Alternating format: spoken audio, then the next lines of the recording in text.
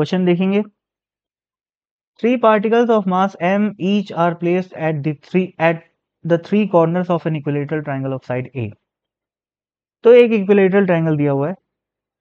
तो एक इमेजिन करो इक्विलेटरल ट्रायंगल और यहाँ पर तीन पार्टिकल रखा हुआ है एम मास का। एम मास का और एम मास का। जो साइड है ट्रायंगल का वो ए है। ठीक? Find the work done the work which should be done on this system to increase the sides of the triangle to two A अब, अगर मैं इस ट्रायंगल की साइज़ को बढ़ाना चाहता हूँ तो मेरे को क्या करना पड़ेगा? सोचो। क्या करना पड़ेगा? इस पार्टिकल को थोड़ा सा यहाँ लाना पड़ेगा। डिस्प्लेस करना पड़ेगा। इस पार्टिकल को ऐसे डिस्प्लेस करना पड़ेगा, इस पार्टिकल को ऐसे डिस्प्लेस करना पड़ेगा। ताकि फाइनली इन लोग यहाँ पे यहाँ पे और यहाँ पे हो। और ये वाला जो साइड है वो क्या बन जाए? Two A two A two A. ठीक है? और इस प्रोसेस में वर्क कितना करना पड़ेगा, ये क्वेश्चन है। ठीक है? तो यहाँ पर ध्यान से देखो, ये कॉन्फ़िगरेशन इनिशियल कॉन्फ़िगरेशन है और ये वाला जो कॉन्फ़िगरेशन है, ये है फाइनल तो अब यार वर्क क्या होता है? Work done by work energy theorem याद करो, बड़ा सिंपल सा है। Work done by all the forces is equal to change in kinetic energy यही होता है? अब यहाँ पर ऑल में कौन कौन आएगा?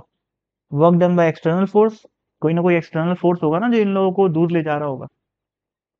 प्लस वर्क डन बाय कौन? Gravitational force should be equal to delta K अब डेल्टा के क्या है? ज़ीरो है, क्योंकि यहाँ पर कुछ मेंशन नहीं किया हुआ है।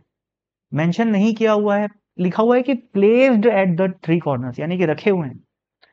और उसको अपने को फाइनली टू ए डिस्टेंस पे ले जाना है। इसका मतलब वो फाइनली भी रेस्ट पे ही है।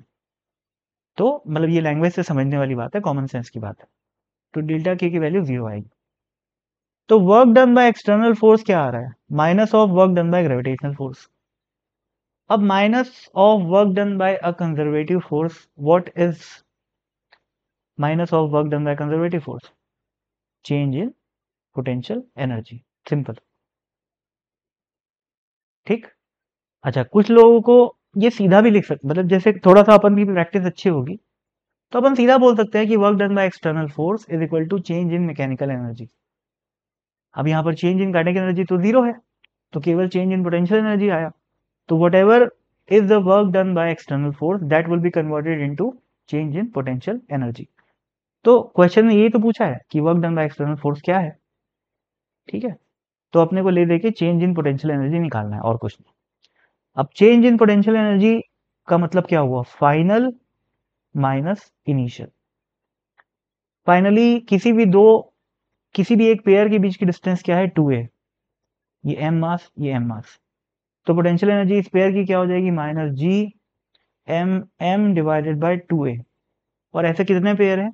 तीन पेयर हैं. इन टू थ्री ये हो गई इनिशियल ये हो गई final potential energy minus initial potential energy. Initial क्या है? Minus G M M divided by distance कितनी है? ए। खत्म हो गया आंसर। ये माइनस माइनस प्लस हो जाएगा। तो जी एम एम बाय अच्छा यहाँ पर एक चीज़ और आएगा, सॉरी। इंटू थ्री यहाँ पर भी आएगा, है ना भाई? क्योंकि ऐसे तीन पेयर हैं। बस यार, हो गया सॉल्व और क्या? यहाँ पर कॉमन आ जाएगा थ्री जी एम एम और minus one by two A plus one by A आ जाएगा। तो ये क्या हो गया? थ्री जी एम एम ये दिख रहा है ना? पॉजिटिव है। One by a minus one by two a क्या हो जाएगा? One by two a plus one by two a तो ये आंसर क्या आ रहा है? Work done by external force positive आ रहा है। आंसर तो आ गया, वो कोई बड़ी बात नहीं है। अब इसका सिग्निफिकेंस क्या है? भाई पॉजिटिव वर्क हो रहा है। तो पोटेंशियल एनर्जी बढ़ेगी मैकेनिकल एनर्जी बढ़ेगी काइनेटिक एनर्जी में कोई चेंज आ नहीं रहा है तो पोटेंशियल एनर्जी बढ़ेगी। और यहाँ पर ऐसा ही हो रहा है। जब भी किसी अट्रैक्शन वाले सिस्टम को मैं दूरी बढ़ाता हूँ, जैसे फॉर एग्ज़ाम्पल ये, तीन पार्टिकल एक दूसरे को अट्रैक्ट कर रहे हैं, अगर मैं उनकी डिस्टेंस को बढ़ाता हूँ तो पोटेंशियल एनर्जी बढ़ती है, ठीक है? तो work done by external force common sense से पॉजिटिव ही आना चाहिए था और आ भी रहा है, ठीक है? बस खत्म।